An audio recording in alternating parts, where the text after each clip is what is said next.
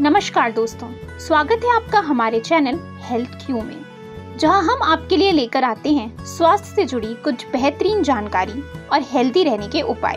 चेहरे की वैक्सिंग करते समय ध्यान रखने योग्य छह बातें। चेहरे पर अनचाहे बालों से छुटकारा पाने के लिए लड़कियाँ चेहरे पर ब्लीच या वैक्स करती हैं। कई बार कई सौंदर्य उत्पादों और उपचारों का भी उपयोग किया जाता है। कई महिलाएँ चेहरे पर अनचाहे बालों से निजात पाने के लिए सिर्फ़ वैक्सिंग का सहारा लेती हैं। लेकिन क्या आप जानते हैं कि वैक्सिंग करते समय कई बातों का ध्यान रखना आवश्यक है? ऐसा ना करने से आपको फ़ायदा होने के बजाय नुकसान भी हो सकता है। तो चलिए, जानते हैं आज कि फेस वैक्सिंग करने से पहले आपको किन बातों पर ध्यान देना चाहिए। Face waxing tips. खुद फेस वैक्स ना करें। अक्सर लड़कियाँ सोचती हैं कि फेस वैक्सिंग करना बहुत आसान है। इसलिए वे घर पर ही फेस वैक्सिंग शुरू कर देती हैं। लेकिन कभी भी घर पर ऐसा करने की कोशिश नहीं करनी चाहिए। इसकी जगह आप किसी और की मदद से फेस वैक्स स्ट्रिप्स का उपयोग करें। स्वच्छता का रखें ध्यान।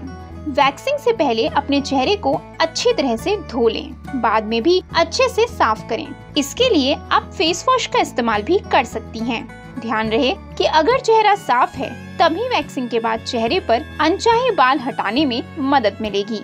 स्क्रबिंग और ब्लीचिंग के दौरान रहे सावधान। ध्यान रखें कि वैक्सिंग के 12 घंटे पहले या बाद में त्वचा पर ब्लीच, स्क्रबिंग या कोई फेस पैक ना लगाएँ। यह आपकी त्वचा को नुकसान पहुंचाता है। इसके अलावा वैक्सिंग के बाद फेस वॉश या साबुन का इस्तेमाल भी ना करें। त्वचा के प्रकार पर दें ध्यान। वैक्सिंग से पहले अपनी त्वचा के प्रकार की जाँच अवश्य कर लें।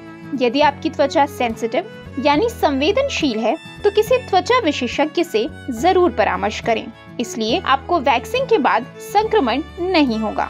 चेहरे के लिए चुने उपयुक्त वैक्स। ध्यान रखें कि चेहरे पर इस्तेमाल किए जाने वाला वैक्स अन्य वैक्स से अलग होता है। इसलिए जब चेहरे पर वैक्सिंग करें तो सही वैक्स का ही चयन करें। ऐसा ना करने से आपको स्किन रैशेज त्वचा पर चकत्ते या जलन जैसी समस्याओं का सामना भी करना पड़ सकता है। इसके लिए आप एलोवेरा हनी वैक्स का इस्तेमाल कर सकती हैं। चेहरे के बालों की वृद्धि पर दें ध्यान। चेहरे के बालों की ग्रोथ कम होने पर वैक्स बिल्कुल ना करें। अगर आपके बालों की ग्रोथ ज़्यादा है तो ही वैक्सिंग फ़ायदेमंद है। छोटे बाल काटने के लिए आप थ्रेडिंग का उपयोग भी कर सकती हैं। वैक्सिंग के बाद किन चीज़ों का रखें ध्यान? वैक्सिंग के बाद यदि आपकी स्किन लाल हो जाती है या उस पर रैशेस हो जाते हैं तो उस पर बर्फ़ लगाएँ या बर्फ़ के टुकड़े से उस जगह पर मालिश करें यदि आपके चेहरे पर अधिक जलन हो रही हो तो मुल्तानी मिट्टी, एलोवेरा जेल या ककड़ी का रस लगाएँ। वैक्सिंग के बाद वैक्सिंग लोशन ज़रूर लगाएँ। ज़रूरत पड़ने पर आप फेस सेरम भी लगा सकती हैं। वैक्सिंग के बाद कोई भी सुगंधित क्रीम बिल्कुल न लगाएँ। ये जलन पैदा कर सकती है वैक्सिंग के बाद 24 घंटों तक धूप में बिल्कुल न जाएँ।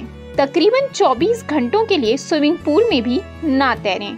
सिंथेटिक कपड़े से अपने चेहरे को साफ़ बिल्कुल ना करें इसके लिए आप नैपकिन का उपयोग करें चेहरे को साफ़ करने के लिए साबुन के बजाय फेस वॉश का इस्तेमाल करें वैक्सिंग के बाद गैस के पास काम ना करें। दरअसल वैक्सिंग के बाद आपकी स्किन पोर्स खुल जाते हैं और इस तरह ये आपकी स्किन को नुकसान पहुँचा सकता है। फेस वैक्सिंग के साइड इफ़ेक्ट। चेहरे की वैक्सिंग भी हानिकारक हो सकती है, क्योंकि आपके चेहरे की त्वचा मुलायम होती है। इसी तरह लगातार वैक्सिंग करने से समय से पहले झुर्रियाँ भी पड़ सकती हैं। इसके अलावा अक्सर वैक्सिंग से हेयर फॉलिकल्स को नुकसान होता है। ये इन्फेक्शन और सूजन जैसी समस्याओं का कारण बन सकता है। यही नहीं, इससे निशान भी पड़ सकते हैं। इसलिए वैक्सिंग से पहले आपका सावधान रहना बेहद ज़रूरी है। दोस्तों, हेल्थ से जुड़ी और जानकारी के लिए बनी रहिए हमारे चैनल हेल्थ क्यू के साथ।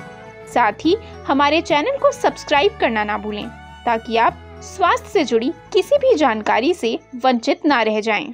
और अगर आपको ये वीडियो पसंद आई हो तो साथ ही इसे लाइक व शेयर भी ज़रूर करें धन्यवाद